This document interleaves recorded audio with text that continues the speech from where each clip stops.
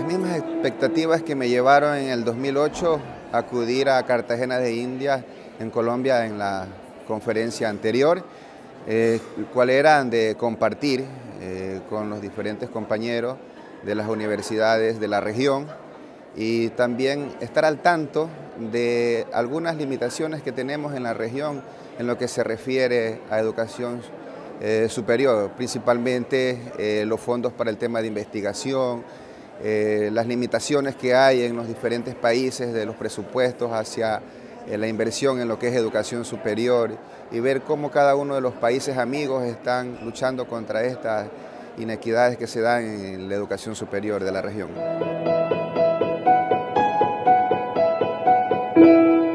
Ha impactado a nivel de toda, de toda la región.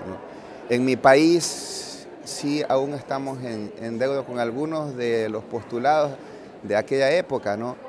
pero sí han servido de una base eh, para poder avanzar, más que todo el tema de cogobierno, ahora ya al menos en nuestro país, donde recientemente estamos trabajando una reforma a, la Ley Orgánica de Educación Superior, eh, se trabaja y se tiende hacia la aplicación de aquellos postulados de, esa época. ¿no? Pero recordemos, ya fueron hace 100 años y aún estamos pendientes en algunos países con esos temas.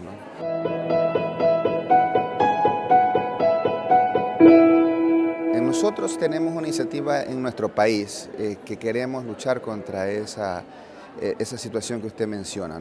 En lo personal, en el gobierno nuestro ha impulsado un mayor acceso al nivel eh, superior. Como las limitaciones están dadas siempre por los recursos y como la era tecnológica que se vive, nosotros estamos impulsando mucho lo que son las, carreras virtuales. ¿ah?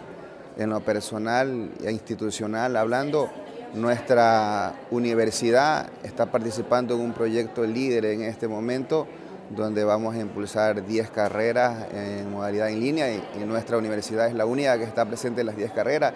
Es algo novedoso en nuestro país y justamente es allí donde se quieren dar mayores oportunidades para acceso a los chicos a la educación superior, porque en la educación virtual en algo puedes optimizar el recurso porque no necesitarás la infraestructura física para poderlos acoger y entonces de esta manera estamos cumpliendo con algo que se postula acá ahora en la CRES.